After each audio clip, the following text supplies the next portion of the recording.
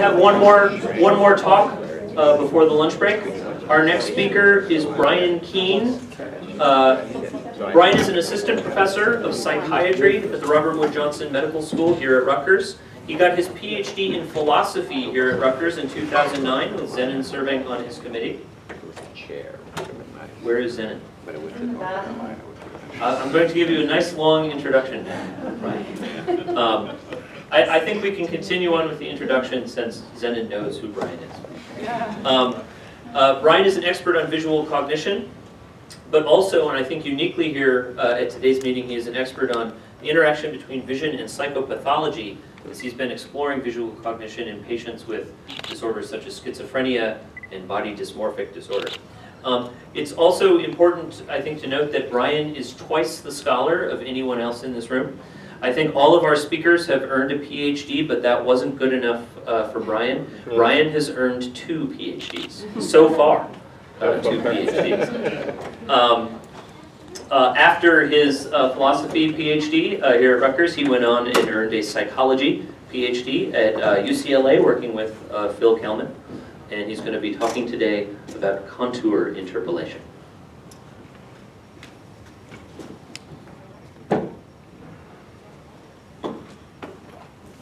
Okay, so thank you very much. Um, uh, thank you also for the introduction, Brian.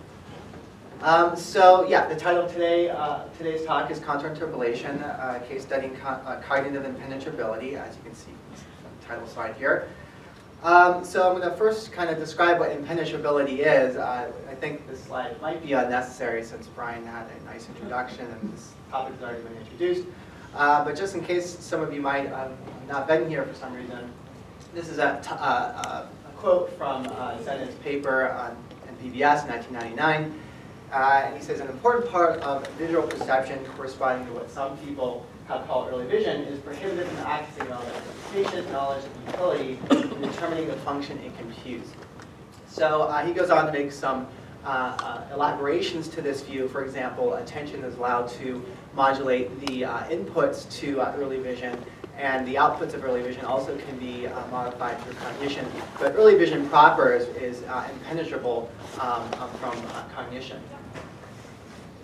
So um, debates thus far have been framed very generally. We're talking about, uh, people talking about the entirety of vision or the entirety of early vision. And um, that is an interesting place to start, but I actually think that um, what we need are some detailed case studies. So let's look at one process uh, in depth to see if it qualifies as cognitively impenetrable in uh, Zenon's sense of the term. Um, so I argue that it's actually useful to look at one process at a time and to look at it in depth um, because uh, in order to show conclusively that early vision or vision is impenetrable, you first want to really show uh, that one process is cognitively impenetrable. So that's what I'm going to be doing here is I'll be looking at one specific process that I've studied in depth for, uh, for about 12 years and to provide some evidence that it does uh, indeed count as cognitively uh, impenetrable. So the process of interest uh, for today's talk, as you might have um, seen from the title slide, is that of contour interpolation. So contour interpolation represents physically non-visible um, contours and surfaces on the basis of how surrounding visible edges are arranged. So um, this is a, cl a classic uh, square, a visually completed shape. Uh, these are inducing edges, sometimes they're called inducers, and these uh, produce these interpolated contours around the perimeter, and they encompass a single visually completed shape. Um, so I'm going to be using the term interpolation in a very generic sense. So, uh, for example, these are modal, modal and amodal uh, squares that Kanizsa um, uh, discovered. Um, and uh, you can see down here, there are these contours that are forming uh, behind a whole surface against a, and there's a, a, dark backdrop. There are also these Gabor patches, which are or, these oriented elements, uh, which form chains, which in turn form shapes. That counts as interpolation in the sense that I'm using it. And also, there are these dotted lines, which Charlie Gilbert has used in his um, elegant studies in single cell, uh, using single cell neurophysiology um, in non-human primates. And then another example would be this motion linking paradigm, which looks pretty much invisible here, but there should be four uh, squares that uh, block each of these um, corners of this diamond. Uh, so all of these count as interpolation. There are other cases too, where, uh, where your brain automatically forms these, these contours from these discontinuous edge elements. So, you know, there are a lot of processes I could be looking at. So why is it that we're specifically focused on contour interpolation? Um, one very simple reason is just that it's important for normal seeing. So it extracts fundamental uh, properties of the objects that we visually confront. Um, so for example, it helps extract properties such as object shape, object position, and object number. So here we see three uh, circles, obviously, uh, and then rather than just seeing those same three circles change their shape, we see a fourth object, a triangle, that's placed on top of them. Um, another uh, kind of less appreciated or less, uh, less talked about uh, property of objects that's extracted via interpolation is that of object persistence. So this is a nice demo by uh, Evan Palmer and colleagues. And um, you see here a kind of a kidney bean that's kind of translating back and forth be, be, uh, behind a hold occluder. And um, so rather than seeing a, a, kaleidoscope of individual elements that uh, appear and disappear, you see a single object, different parts of which appear at different points in time. So you get to have this percept in virtue of the edge elements that appear uh, across space and time. So yet another reason to look at uh, contour interpolation is that we know a whole lot about it. So it's been studied since uh, the, at least the 1950s by Gaetano Kanizsa and, and others. Um, and um, so what I did is I just hopped onto PubMed and did a search for key terms. And uh, the key terms I used were contour integration, illusory contours, amodal completion, modal completion, um, subjective contours, contour interpolation, contour completion, and boundary completion. So uh, a lot of uh, elements in that disjunction. Uh, what I came up with was over 800 articles um, on PubMed. Uh, and actually, uh, this is a dramatic underestimation of the literature on this topic. So, for example, um, it doesn't include non-English journals or books. Um, and also, I could have used other key terms such as perceptual completion, visual completion, phenomenal contours, quasi-perceptive contours, visual binding, and feature binding, among others. So the jury should now be in. We should now have enough information to determine whether contour interpolation counts as a cognitively impenetrable process. So the agenda for today's uh, talk is as follows. First, I'm going to start with a little bit of a sanity check to just provide some just suggestive ev evidence to think that it's reasonable to believe that contour interpolation does indeed count as an impenetrable process. Um, then I'll provide some behavioral evidence from my own work and from the, from the work of others to show that interpolation is uh, impenetrable. And then I'll uh, discuss some uh, two very interesting, I think, uh, caveats or qualifications to the impenetrability view, which might even add another uh, item on the checklist uh, of Firestone and Scholl. Uh, and then, of course, I'll end with a, a personal note uh, on the tremendous influence Zen has had on my career, both in the topics that I am interested in and also in the approach that I take to understanding um, um, these questions.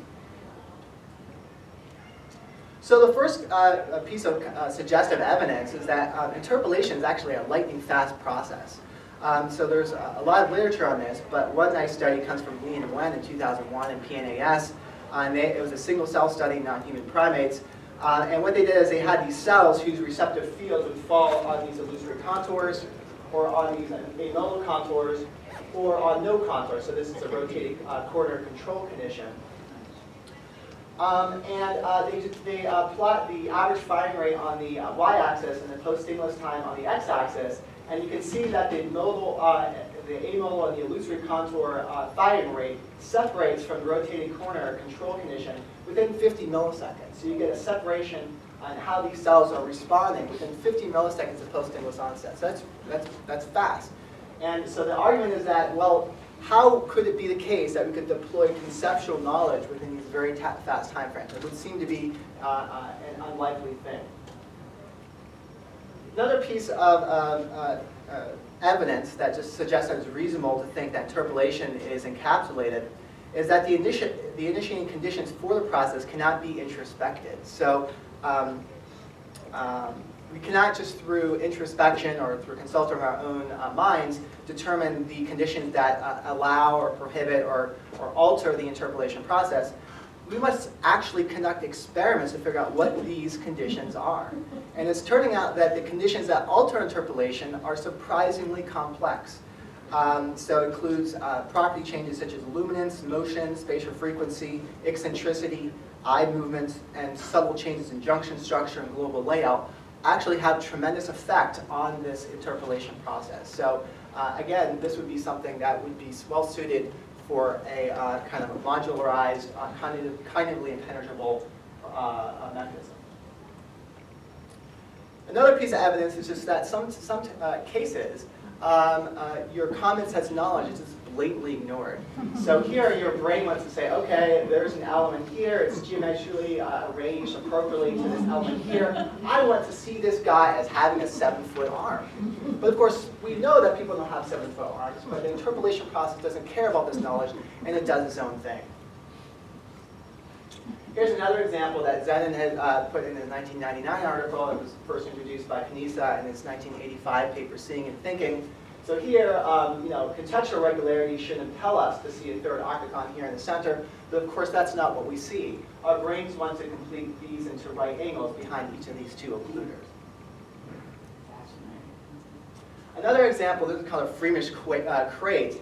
And so um, this is uh, an example where you kind of cut out these chunks of the uh, crate. Mm -hmm. And if you view it from the right angle, this uh, kind of this uh, missing part will, um, you can see this contour here behind this missing part. Mm-hmm. And you can see this contour down here behind this missing part. So let's see what that looks like. So you basically get a physically impossible square. So your visual system says, okay, well these are lined up in the right way uh, to promote uh, uh, completion. Uh, and even though that creates an impossible figure, your visual system doesn't care. It just wants to create this shape anyway. Um, some more evidence comes from um, our friend at multiple object tracking. We actually call this multiple vertex tracking because the elements that are tracked are actually Pac-Man, as you'll see. Uh, and this is a variation of the very nice uh, uh, uh paradigm uh, invented by Scholl, Bush, and Feldman 2000 called target merging, as some of you might be familiar with. Um, and basically, on each trial of this experiment, um, what would happen is you would have a target distractor in each, each uh, quadrant, and the target would briefly blink. And then all elements would transform into Pac-Man. They'd start orbiting within their respective quadrants for 8 to 9 seconds. They'd transform back into uh, disks, and then subjects would have to choose the target that they saw at the beginning of the trial. Um, so rather than, um, all right, so the conditions that we had uh, were determined by how the Pac-Man were oriented relative to, to one another in the different. Um, so uh, these four for the target distractor interpolation condition, you have uh, these four targets. And you can see that this target is interpolating with this distractor, and this distractor, and this target is interpolating with this distractor, and this distractor. So you have these two morphing illusory quadrilaterals, which are composed of two uh, targets and two distractions. So the idea is that um, there's going to be this automatic grouping that's going to shift your attention from the targets to the distractors. It's going to make it harder to keep track of these items. Um, and that, that's what should be the case if this interpolation process is automatic and, and impervious to the desires of the, of the uh, observer who's trying to track as well as possible. Um, so here's the uh, uh, demo for this. So the tracked objects are the um, ones that blinked. I'm going to repeat this since I'm sure some of you missed that um, target designation phase. Um, but those are the targets. So let's watch again. So the targets are going to blink. And um, what's going to happen is you're eventually, for many of you, those, at least one of those targets is going to form an illusory contour with one of the distractors that you accidentally trap. Let's try that again.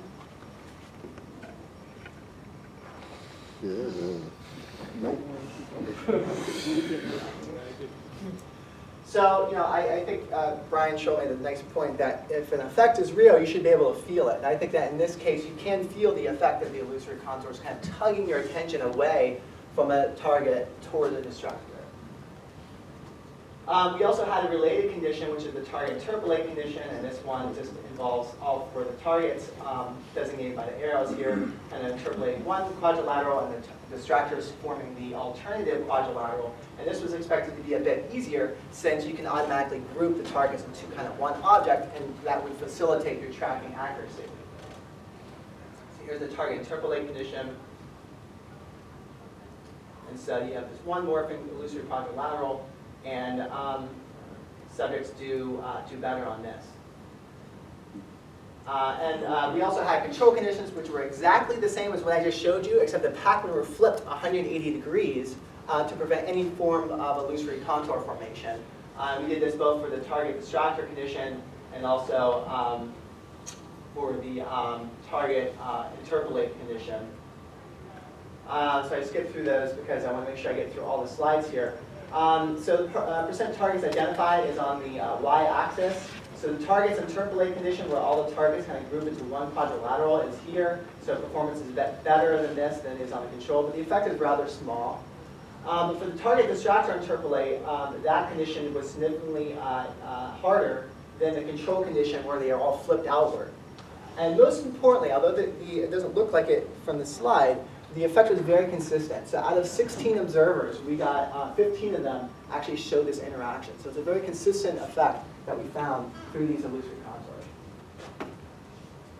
Um, to further kind of show that these contours were indeed producing the effects of interest, uh, what we did is we modulated the strength of illusory contour formation by simply uh, uh, changing the rotation angles of the pacmen. So if you curve them a little bit, you should weaken the contour. And if you uh, curve, if you um, rotate the pacmen significantly, you'll break the formation of illusory contours and you eliminate the relevance of them for tracking. Um, so that's actually what we found. So if you have a large rotation angle, then there's, you can, you can experience it for yourself. There's no illusory contours here, and it shouldn't affect your performance on the, uh, on the task.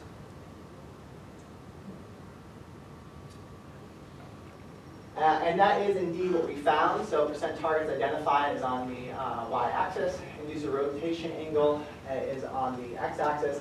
And so when you go from zero degrees of rotation between the target interpolate condition and the target distractor interpolate condition, you get a nice effect. And that effect becomes zero when you go to 48 degrees of rotation, which breaks the illusory contours and therefore eliminates the effect on tracking.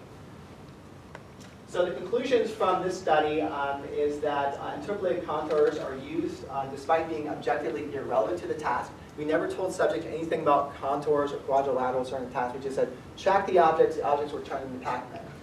Um, so despite that, uh, and despite this effect being deleterious in certain conditions, subject could not escape the illusory contours. They used them uh, despite it impairing performance. Uh, and this impairment can be modulated in a bottom-up stimulus-driven fashion, such that if you weaken the contours, you weaken the effect on tracking.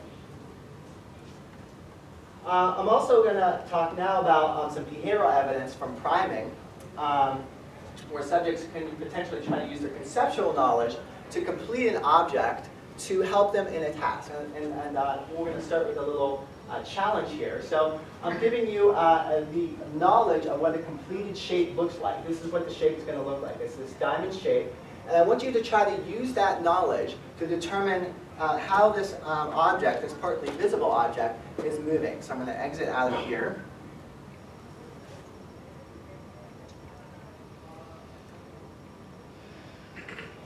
I gave you the knowledge. I want you to deploy the knowledge of what the completed shape looks like to tell me how this object is moving. So I'll give you a hint. The object is either orbiting, it's orbiting upright and it's going clockwise or counterclockwise. And can, who thinks that it's going clockwise? Raise your hand. Who thinks it's going counterclockwise? And who's not sure? Okay.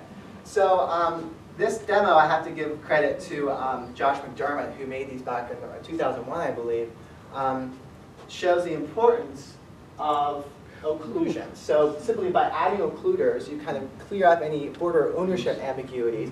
And it becomes very clear that this is orbiting uh, counterclockwise. And then if you change the direction, it becomes very clear that it's clockwise.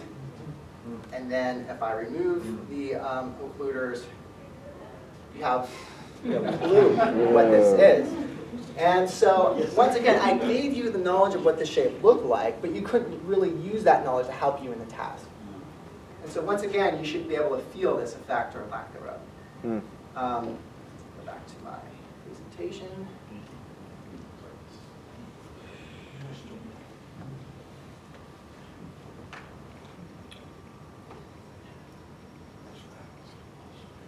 Um, so uh, what uh, Lorenceau and Alais did in a paper on Nature Neuroscience in 2001 is they actually compared performance in one of two cases. They either gave subjects a priming stimulus before each trial for one second, uh, or they gave them no priming stimulus.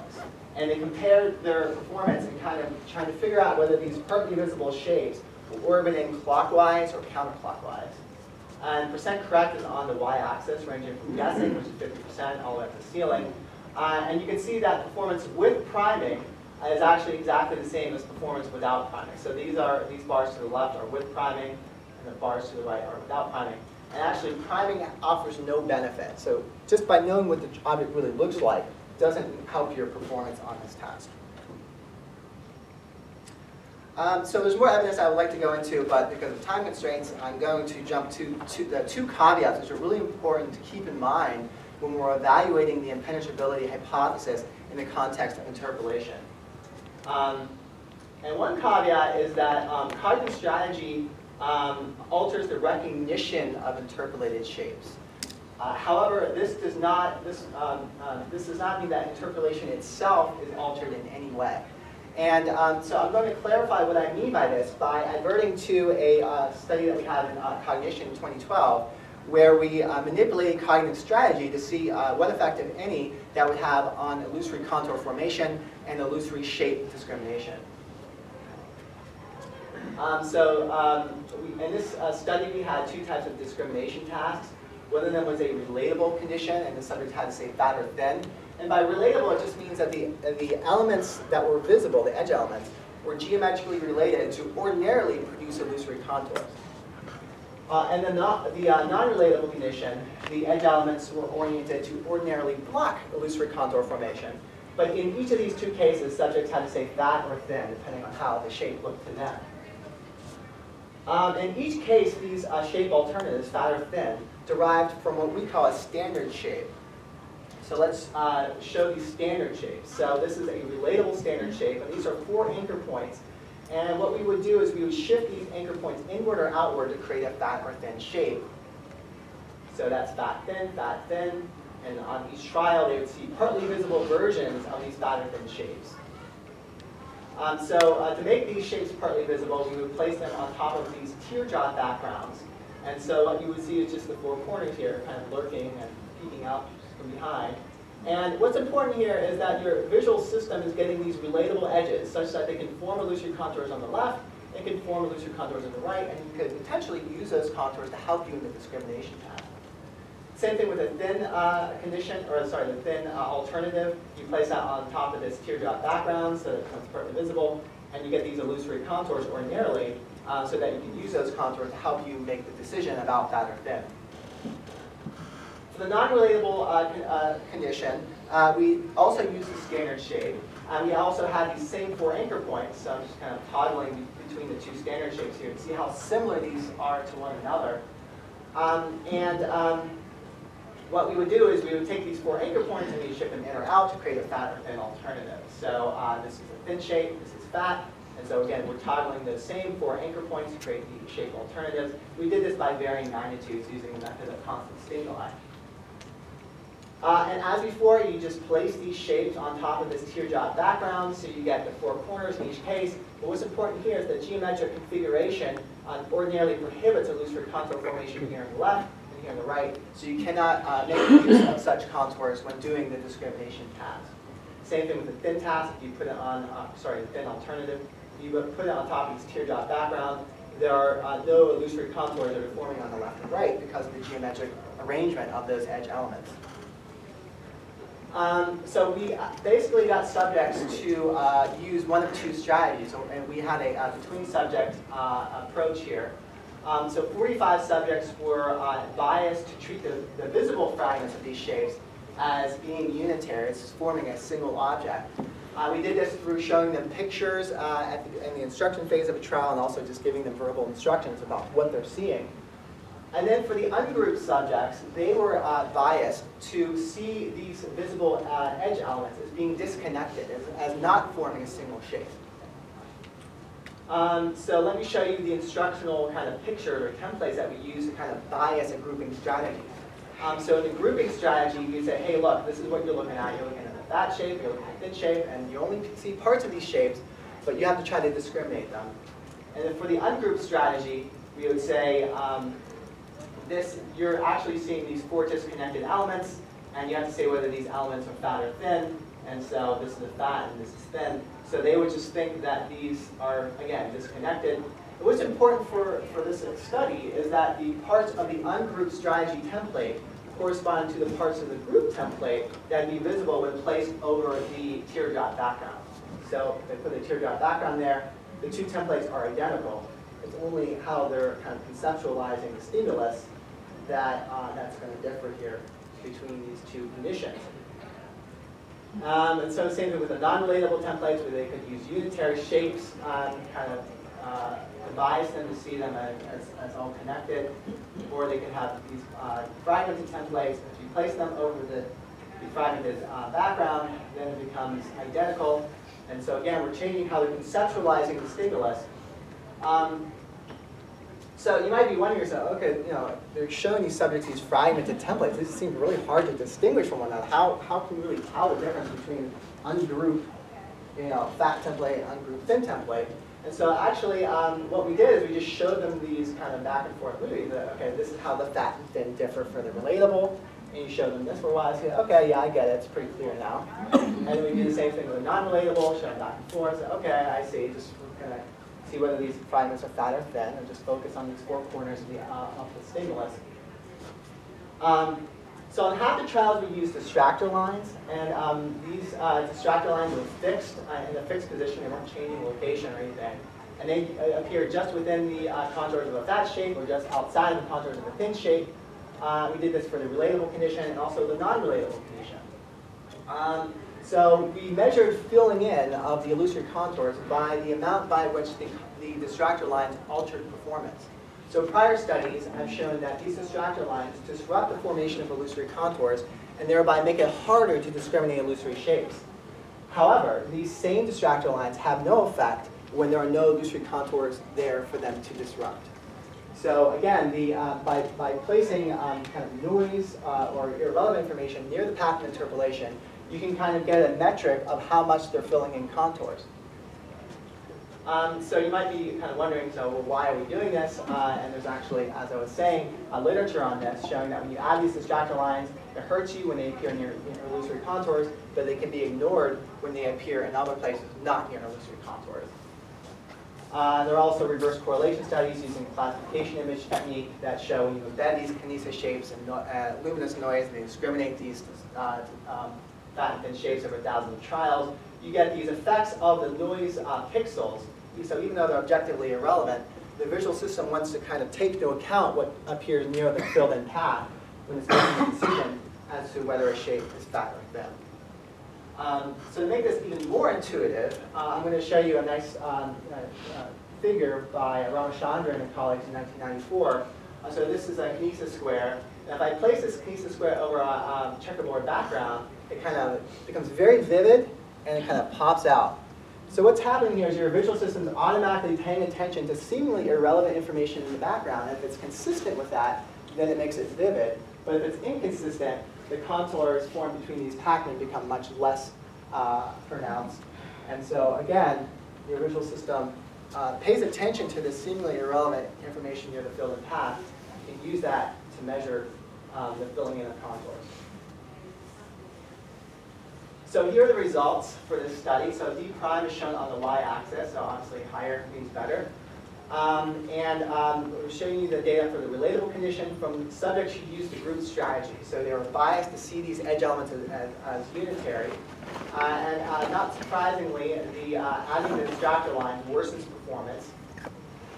Um, and so that indicates that there's a filling in contour there, uh, which is good. Uh, and then for the unrelatable case, adding the distractor lines actually had no effect. And this is kind of interesting because subjects were biased to conceptualize these contours as being in a specific location by, you know, by using these uh, templates.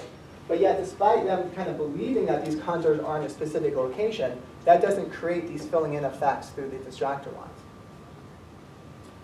The ungrouped strategy, uh, here are the data. So uh, for the uh, no lines condition, that's better than the lines condition. Uh, and that also is interesting because they don't believe that there's any contour there, but despite that disbelief, they're nonetheless being affected by the distractor lines that are appearing near the illusory contour. Um, and then for the unrelated condition, that's not really surprising. Subjects are able to ignore the distractor lines no matter what. And so in each of these two cases, we have a distractor line inter, uh, interaction, such that the distractor lines affect performance when they're appearing near illusory contours, they're not affecting performance otherwise. Uh, but of course, um, so let's compare the relatable condition, or um, the relatable conditions between the two um, graphs. So here you can see that there's a pretty drastic, drastically different effect. So performance here is way better for the group subjects than it is for the ungroup subjects. But at the same time, the, um, uh, the unrelatable conditions are the same between the group and the ungroup strategy. So I'm going to say a little bit more about this. So first of all, the fact that the unrelatable condition is the same in each of these two cases means that it's, it's not true that using a fragmented template is intrinsically harder. Right? So these subjects were at no disadvantage by using this template here, but they were at a disadvantage of using the template here. So what we argue is that these cognitive templates are, are actually important for allowing observers to notice illusory contours and to take advantage of those contours for the purposes of illusory shape discrimination. So uh, to summarize the results, grouping did not alter the distractor line interaction, so we argue that uh, filling in happens no matter what. Um, grouping did not alter the unrelatable performance, so this means that just using a fragmented template is not intrinsically harder. Uh, however, grouping strategy did alter the relatable performance, such that uh, when subjects were discriminating these illusory shapes, they were much better when, when they had a cognitive template that allowed them to notice the contours and use those contours for discrimination. So therefore, illusory contour formation and illusory shape discrimination can come apart. And when I first tell people this, you know, they're kind of confused because they're logically linked processes, right? To get to the shape, you need to form the, contour. Uh, but we argue that there are actually two distinct stages. So you have an early, fast, automatic interpolation stage, and then you have a late kind of shape recognition stage, which is uh, conceptual in nature. Um, so to provide some further evidence of this association between illusory contour formation on the one hand and illusory shape discrim uh, discrimination on the other, we uh, have a clinical study in which we ran schizophrenia patients and controls. And um, so these schizophrenia patients um, have classic symptoms such as hallucinations, delusions, and also disorganized thinking. Um, and we asked them on uh, age, sex, and uh, level of parental education. Um, and we have, uh, we have them do a similar task where they have to discriminate kind of a fat shape over here or a thin shape over here. So they see one of these two shapes on each child to say which one they see. And uh, in some cases, these um, uh, stimuli are accompanied by distractor lines uh, to kind of get a, an index for the filling in of contour. And then for the non-relatable condition, you have these same four pattern, except they were all pointed downward and they're rotated either a little bit to the left or a little bit to the right. And so on each trial, they'd see one of these two uh, configurations, and they have to say left or right on each trial. Uh, and as before, we added distractor lines to get a gauge on the filling in of contour. And um, uh, we measure performance by uh, changing the uh, Pacman uh, rotational magnitude. So if you rotate the Pac-Man just a little bit, it becomes a hard task. If you rotate the Pac-Man a lot, it becomes a very easy task. It becomes very clear which one's fat, which one's thin. Um, and threshold corresponds to the amount of accuracy or amount of rotation needed for 80% accuracy. And we use the Bayesian adaptive uh, staircase procedure called the psi method to estimate the threshold. Um, so, you know, I'm trying to conserve time, but these are two psychometric uh, curves, one for a control and for a patient. Proportion correct range is from guessing all up to the ceiling. The Pacman rotational magnitude in log units is shown on the x-axis. And so this control would have a threshold here of 0.6 log units, which is plus or minus 4 degrees of rotation. And the schizophrenia patient would have a higher threshold, would be doing worse, and have a, a threshold of 0.9 log units, which is plus or minus 8 degrees of rotation. So this is how we measure performance in this task. And um, so the surprising finding from this study is that our schizophrenia patients are behaving as if they're adopting steadfastly an ungrouped strategy. Um, so let me explain. So uh, for the relatable um, condition, uh, when you go from having no distractor lines to distractor lines, you get a worsening of performance. Your thresholds increase.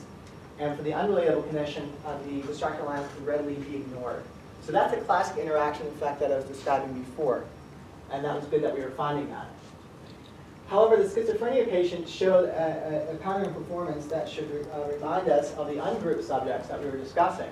So for the relatable condition, they have a normal reaction to the distractor lines, so the, their performance gets worse. In the unrelatable condition, there's no effect of distractor lines. Uh, and then their near, their overall performance on the unrelatable condition is near normal, but the overall performance on the relatable condition is much worse. So to the conclusion that we draw from this is that schizophrenia patients are actually forming illusory contours, but they're not able to notice and use those contours to make these fine-grained shape discrimination um, uh, judgments. And what makes these results even more interesting is that the patients who most who showed this effect the most were those who had a clinical symptom called conceptual disorganization. So subjects who, who had a um, lessened ability to clearly communicate or to think clearly were the ones who most, uh, most clearly exhibited this, uh, this sort of profile. So this further shows that there's kind of a conceptual stage to illusory shape discrimination that, um, that can be either intact or degraded depending on your mental status. Um, uh, there's another paper that I'm not going to be able to discuss that uses EEG um, but they, um, they actually reached the same conclusion that uh, boundary formation is automatic and dissociable from illusory shape discrimination. That appeared in um, Journal of Neuroscience back in uh, 2006. It was uh, Micah Murray was the first name on that one. Oops. So the interim summary for caveat one is that interpolation ensues despite our beliefs. So if we believe that contours are there, but the geometry isn't going to allow for those contours, then you're not going to get the uh, filling in effects. Um, and if you don't believe that the, the contours are there, but the geometry does allow for those contours, then you will get the filling in effects. Um, at the same time, strategy is important. It alters how these contours are noticed and used. Therefore, contour filling in, but not shape discrimination, is cognitively encapsulated. And so this is an important caveat for those who wish to assess to what extent uh, interpolation is encapsulated. So caveat two is a little bit easier to explain because I'm just going to use some basic examples, which I hope you'll appreciate. But what I'm going to argue is that cognition can generate non-interpolated or abstracted contours. And I think this is a really important point that's not discussed enough in the literature. Uh, abstracted contours are those that must be imagined or inferred from background knowledge or biases. So let's uh, look at some examples. So everybody has seen this. This is an uh, R.C. James Dalmatian dog uh, uh, picture uh, and I think Gregory, um, Gregory first, um, Richard Gregory first came up with or showed this in his 1972 book, I Am Brain. And uh, so a large portions of this dog are not physically specified. You have to kind of cognitively infer the contours of this dog. And so, for example, its foot you might think is here, and so you can kind of represent the contours being here. But that's not interpolation. That's a contour abstraction process, we argue. Here's another case. These are Mooney figures, and I think these are actually related to um, the street completion figures that Zen has in his 1999 article. And so you know that this is a face, right? You can pick up on a feature here, and you can represent the entirety of the object. You can represent its contours maybe being up here somewhere. But that's not interpolation. That is contour abstraction, which is a different process. Um, these are pareidolia figures, so it's where you see meaning and meaningless things, um, similar to like Rorschach uh, test. Uh, so you might see kind of this is a rabbit eye, and these is two rabbit ears, and its paws maybe looking down here. So again, you can represent the contour of the object, but that again is not interpolation, that's contour abstraction. And here's another example where you can kind of cognitively infer where the dog is based on how your knowledge how dogs typically look, but that's not interpolation, that is contour abstraction. This is, yeah, another example of a Biederman's classic article in 1987 on geons. He distinguishes um, recoverable from non-recoverable shapes. This would be a non-recoverable shape. Does anybody know what this one is? Yeah, some of you does, so maybe it's recoverable for, for expert vision scientists or expert psychologists. Um, but yeah, it's a, it's a wine glass. Hmm. And so, oh, okay um, so, so right, so if you have a contour here, and you say, okay, well I know this is how one glass looks, and so I'm going to represent a contour, but that's not interpolation, that's contour abstraction. Um, therefore, in a paper that I have that's been under review for five months, um, uh, interpolation is uh, fast and voluntary. It fills in in a spatially precise way that takes into account seemingly irrelevant information near the fill-in path. Um, it's not reliant upon prefrontal cortical structures, but instead relies upon V1, V2, lateral occipital complex, and V4. Um, it does not require concepts. In fact, people who have uh, brain damage uh, to the ventral medial, prefrontal cortex, other parts of the frontal cortex do just fine, uh, and as do uh, species that have no conceptual machinery whatsoever. Uh, it also arises in early infancy, and there's some really neat studies showing that there's visual shape completion behavior in uh, infants who are 48 hours old. Um, contour abstraction is actually the exact opposite. So it's slow and effortful. It's subject to the will of the observer. Uh, its boundaries are blurry with little phenomenal presence. Uh, it's relying upon prefrontal cortical structures, and there's some MEG studies which I can make reference to to, to uh, make this point. Uh, it invokes conceptual knowledge, right? So when you see that dog, you need to have some knowledge of how dogs look and what their shapes are typically. Uh, and it probably does not arise in early infancy. So I doubt that any infant 48 hours old would see R.C. James' uh, uh, display as being a Dalmatian dog. So I would like to take credit for this distinction, but unfortunately, uh, Gaetano Kanizsa beat me to the punch. Uh, in 1985, Seeing and Thinking, he actually, and these are all direct quotes, he talks about perceptual interpolations which are directly visible, imposes itself on the observer, resolves its problems without regard to logic, expectations, and knowledge, and he says there can be organization without meaning. And you contrast that with cognitive integration, which does not elicit a unique solution, is easily modifiable, it's reached through reasoning, and subject to our knowledge, our attitudes, and our will. So um, uh, after uh, kind of came up with this uh, distinction, uh, Irv Biederman made the distinction between recoverable and non-recoverable shapes. And actually, if you read that article, and he's talking about geons, he's saying that well, the important way they would get geons is through this filling in process. So he actually talks about the importance of filling in and distinguishing recoverable from non-recoverable shapes. And then Phil Kellman, my advisor at UCLA, uh, he talks about interpolation versus recognition from partial information. So you can see that there's, there's a vase down here that interpolates with the cat. You know that cats don't have vase as feet. Uh, and, and so that would be an interpolated boundary you would form. And this would be a recognition from partial information where you have to use your knowledge of, of the cat's whereabouts to represent its contours. And so a lot of people kind of independently kind of made reference to this distinction, but people keep on forgetting about it or it's overlooked or something. But this is a really important distinction that needs to be kept in mind, especially if you're interested in cognitive impenetrability of interpolation. So I argue that this is sort of a red herring. So subjects, you know, you have you have these you have these uh, researchers who think they're studying one process, but in fact they're studying something else. And so maybe a seventh bullet point to um, to the checklist would be make sure that you're studying what you think you're studying. make sure that if you're studying interpolation, you're not studying something like contour abstraction. So to summarize, interpolation is a uh, encapsulated uh, process. It happens too quickly for knowledge to have an effect. Uh, introspection provides a little help. It's an incredibly complex process. Uh, it ignores background knowledge, uh, contextual regularities, and physical impossibility. Uh, and observers cannot create or prevent interpolation in cases where it would be helpful or in cases where it would be consistent with con their conceptual schema.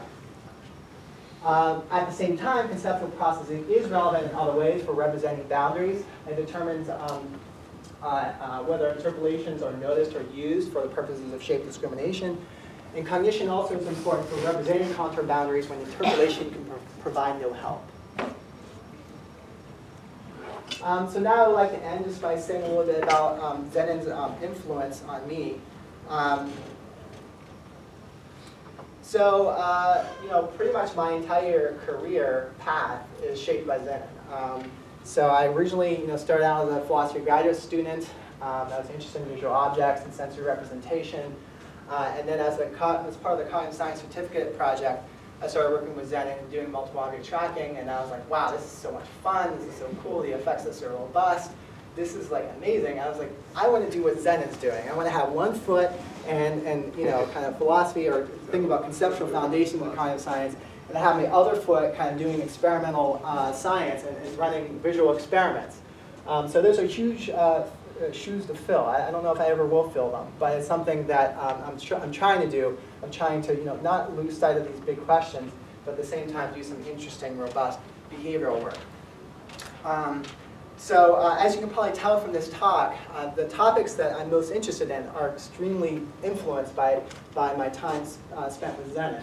So I think that object represent representation is hugely important um, you know, major goal for your visual system is to combine information that's scattered across space and time and to represent the objects that are in your field of view.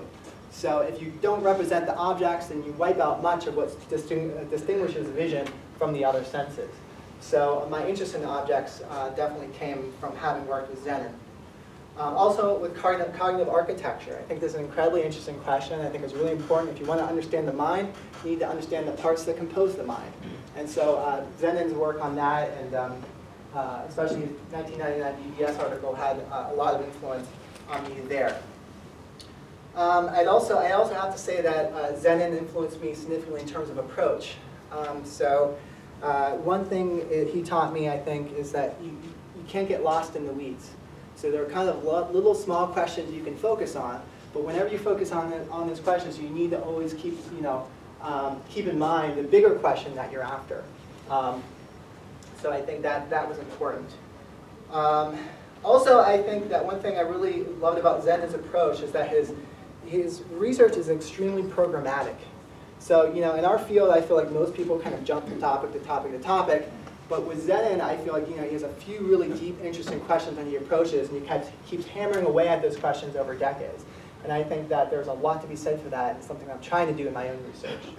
So, um, uh, also Zen has a healthy skepticism of neuroimaging, which is important for me because it looks like I'm getting a K award to do neuroimaging. So uh, hopefully it'll help me do better science.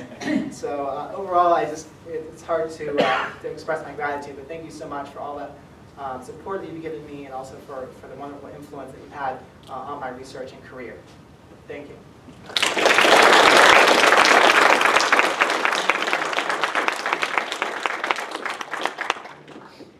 Let's take just a couple of questions for Brian, and I'll see if we can get Sue to come educate us about the lunch options. Yeah.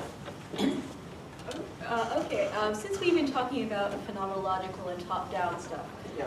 so I had an experience when you were showing the stimuli right at the beginning of the talk, uh, and you showed the different circles of the Pac-Man facing each other. It was the amodal completion uh, Yeah. stuff. So when you first put it up there, I didn't get it. Right. And then you said it's holes punched and you're seeing it through the background, and suddenly it snapped into place for me once you gave me those words. Right. So I phenomenologically had a top-down change. Yeah. So how would you explain that in the context of the perception being separated and cordoned off from cognition? Well, um, so a couple things. First of all, I would uh, distinguish that interpolation from recognition. So that kind of you know fits with the, uh, the point I was trying to make earlier. Um, so uh, when you see that stimulus, for example, if you had to discriminate that sort of stimulus, you had no clue, you had no idea that it was actually a complete shape. You put distractor lines near the contours. Those distractor lines will have an effect no matter how you recognize or see the object. But at the same time, there is a higher level of higher level uh, process where you do need to in fact recognize it as falling into a specific uh, category. Um, and in the paper that's under review, uh, let me see if I have the slide here.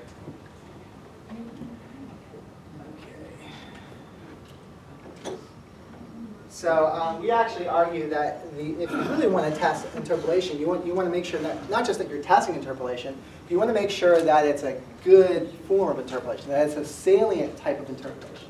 And uh, you know, this has been studied a whole lot, and there are various ways of weakening the process, such as you know, rotation angle, um, misalignment, rounding tangent discon discontinuities, things like that.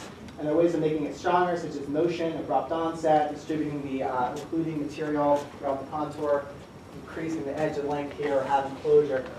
Um, so in that modal case, for example, if I added motion to that, it would be unmistakable to you. Um, so I think that's just a, a, a weaker form of interpolation that where it doesn't kind of impose itself on your recognition processes. So it's kind of two responses to that question. It's a very good question. Thank you very much. Yeah. Yeah? I think you really answered the question. She said it snapped into place. That suggests a cognitive effect on the actual visual experience. Uh, If, I think a better answer would be that um, it was a, pro- probably a combination of spatial attention and feature-based attention. So she knew what, you, you had basically said what, what she was to be looking for, and then feature-based, I mean, I'm not sure exactly which display it was that you. I'll do Yeah. The, the very first one at the top of your slides, um, where Yep. you start showing them the circles. One second.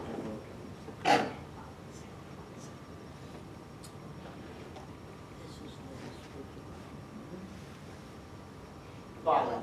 Mhm. That one? Yes. That one. So you didn't see the, the, the square in the top?